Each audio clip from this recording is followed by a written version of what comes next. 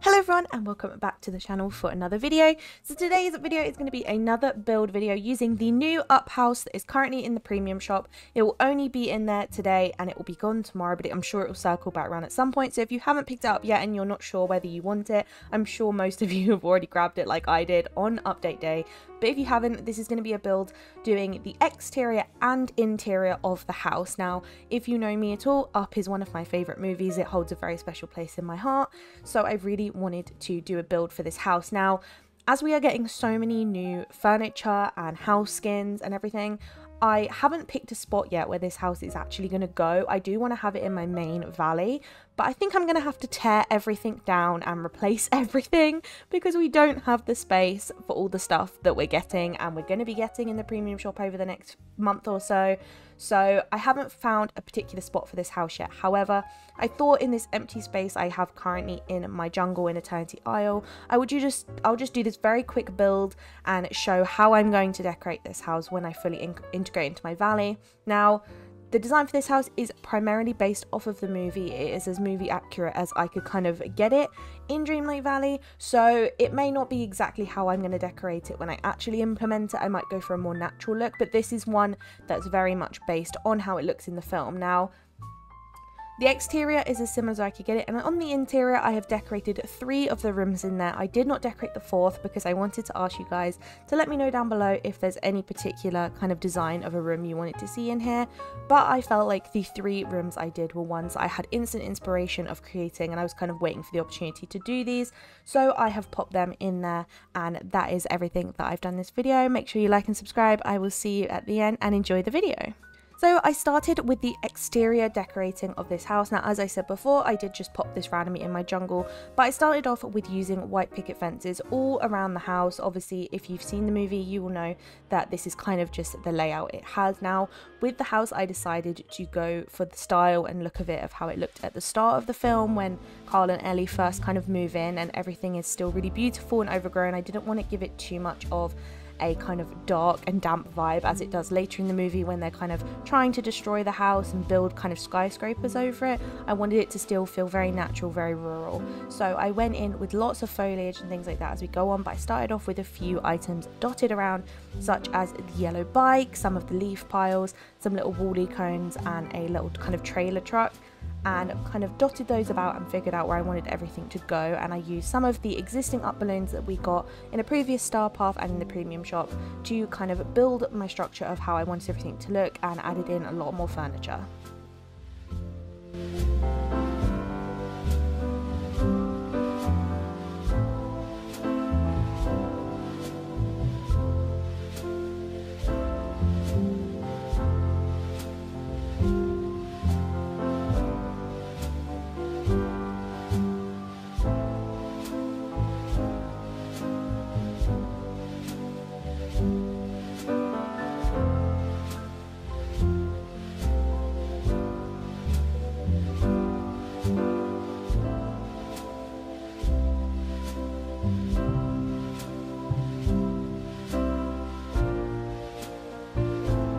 Now for the build, I did obviously want it to feel very much like when Carl and Ellie first moved in, which kind of doesn't really fit with the fact that it does have the balloons already attached to it. So I did kind of incorporate both of those things into the build, but I wanted to include a lot of flower pots and kind of overgrown shrubbery and things like that to make it seem as though this is when they're moving in and they're kind of getting everything decorated how they wanted. And I then went in with lots of different colored trees. I used mainly the ones that we get in our meadow in the base game. So the oak, the red tree and the maples and gave it a very kind of natural look. And I liked the use of the different colored trees to make it seem as though it's kind of like an autumn time where all the trees are different colors. And then I went in with a lot of shrubbery both around the front of the house and also on the sides behind and on the sides of the trees. Jesu.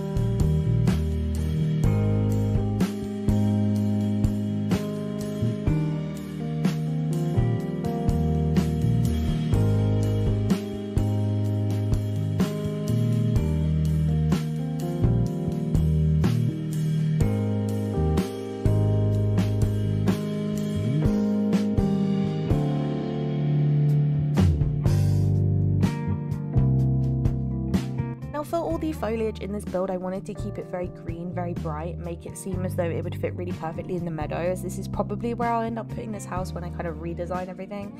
So I wanted it to all feel very natural. I use mainly base game plants. I did add a couple of little Eternity Isle plants around the front just because these little green ones work really, really well, but I wanted to mainly stick with our base game ones and give it a very kind of natural meadow look as though it would fit into kind of a lovely rural area where the house kind of is set up in the start of the film.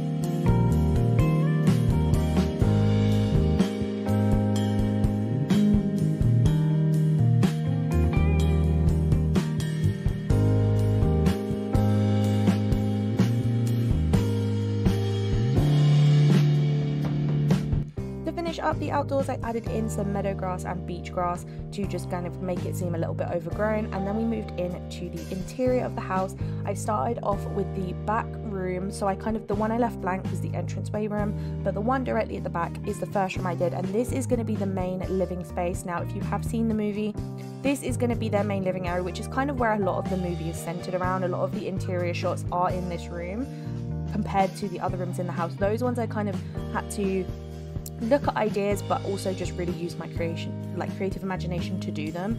Whereas this one was a lot kind of simpler to figure out a system for but I did go in and place in a lot of the different furniture and wall hangings that I knew I was going to be using and spent, spent a lot of time kind of figuring out where I wanted everything to go. I did want it to be as movie accurate as I could possibly get it but I also did want to add things that I felt just brought an extra touch and kind of replace things that we don't have in Dreamlight Valley currently so I went in and placed all of those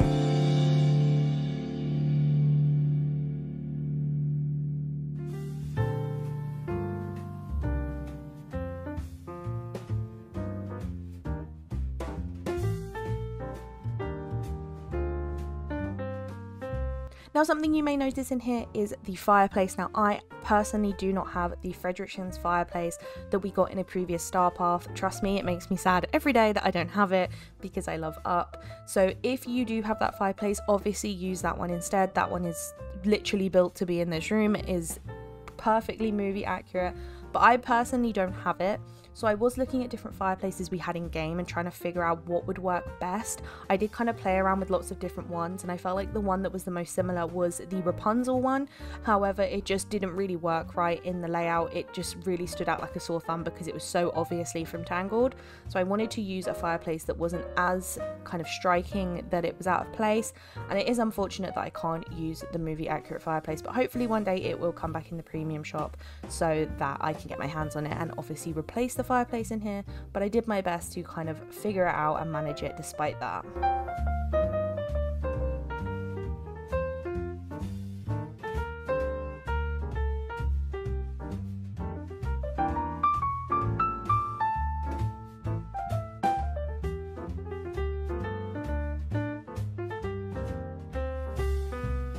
Something I did want to kind of have be a feature in all the rooms in this house, but especially this main room, was it being really eclectic and I wanted to put a lot of different things on the walls.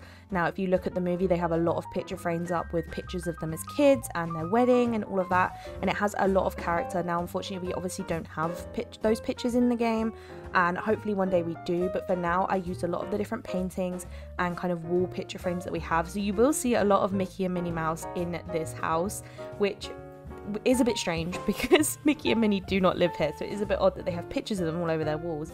However, I kind of wanted to do it in the sense that you just use your imagination and think of them as just picture frames of pictures of Carl and Ellie growing up and all of that.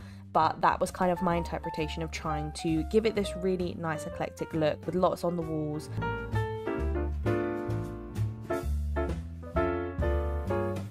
The next room I went and did, which is on the left hand side, is a kitchen space. Now in here I wanted it to be very bright, very colourful. I wanted it to really feel just somewhere that you'd love to hang out and kind of match the colourful aspect of the house exterior as well as the characters themselves.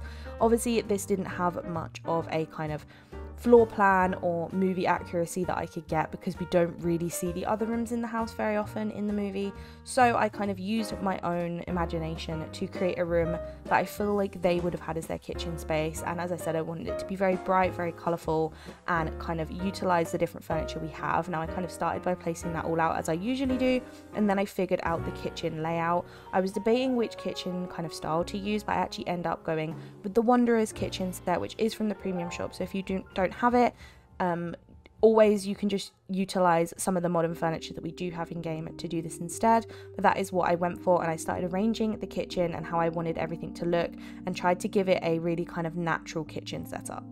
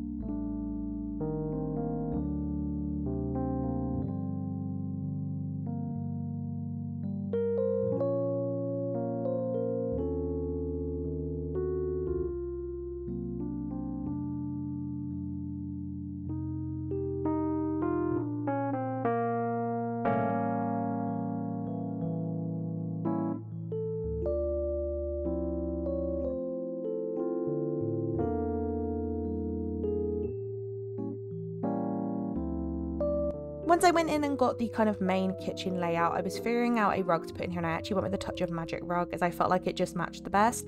And then I started rearranging the rest of the room. I used some of the Cinderella windows with the blue curtains in here. I just felt like they matched really well and gave it a really bright atmosphere in here. I wanted it to feel very colourful, very lively, like the rest of the house and the exterior of the house. And I kind of finished up making it look like a natural kitchen to live in with a washer and a dryer and it gave it just a very kind of cozy feel. I do go in later and add food to the table, which you'll see in the final walkthrough, and it kind of just finished up all the other extras that I wanted to put in here.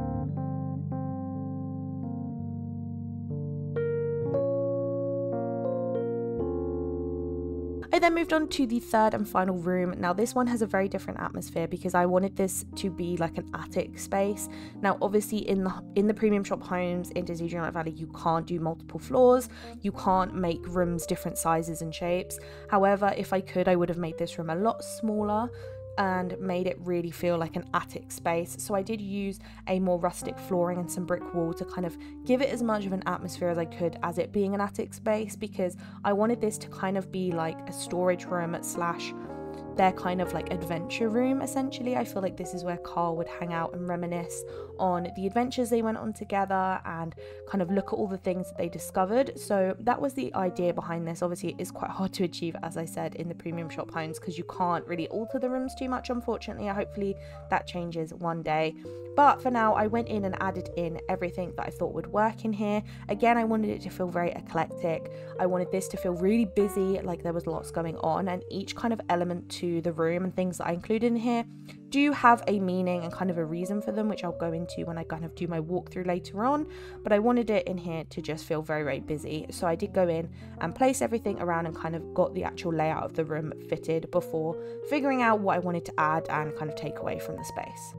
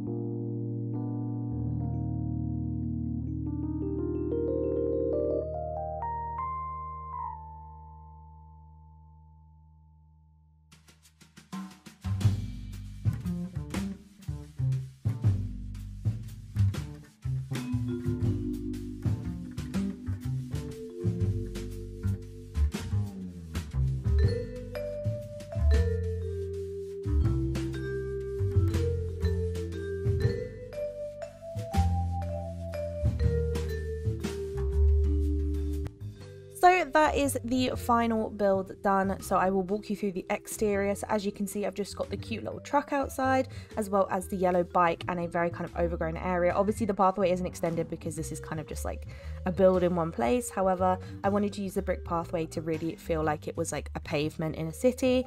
And then you obviously have the beautiful home with some of the up balloons behind just to give it that extra colour and just make it look really, really sweet. I obviously included a craftable mailbox at the front to kind of match Carl and Ellie's. I do hope at some point we get a craftable version with their names on and stuff. I think that'd be so cute.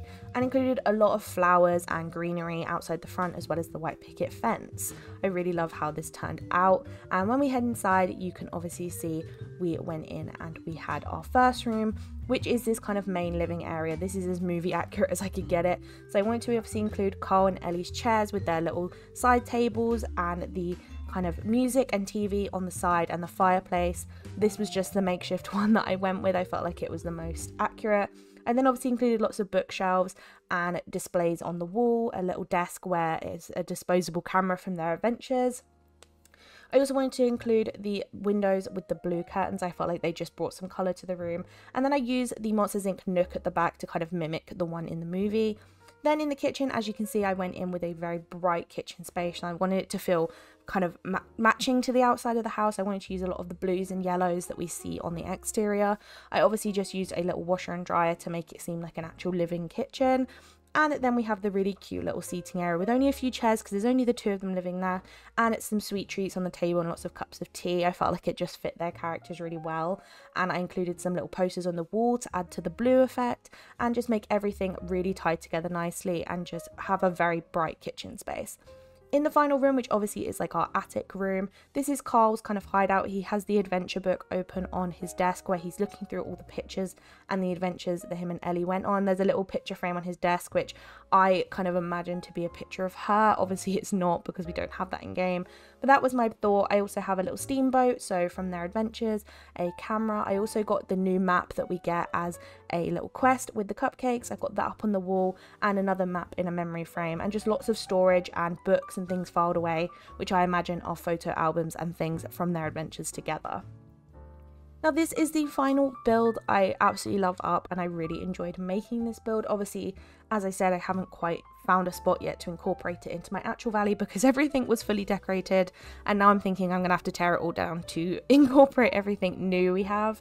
So I wanted to just create it here and kind of see how movie accurate I could get it in Dreamlight Valley. I think I did the best I could with the furniture I have. Unfortunately, as I said, I don't have the fireplace that would have worked perfectly in here, but hopefully one day that does come back to the premium shop and I can get my hands on it and I can just swap that out as I really would love to be able to include that in here. But overall, I feel like I've kind of captured the characters in this space and kind of done as best I can to make it as accurate to the movie as I could. I hope you guys enjoyed the video and let me know down below what you guys are going to do with your up house. Are you're going to make it movie accurate like me or are you going to kind of put your own twist on it? I haven't decided yet what I'm going to do when I fully incorporate it into my valley but for now I really love how this turned out. I think it just reminds me so much of the movie and it really warms my heart. Make sure you like and subscribe. Thank you so much for all the support on the channel and I hope to see you all in the next one. Have a lovely week. Bye.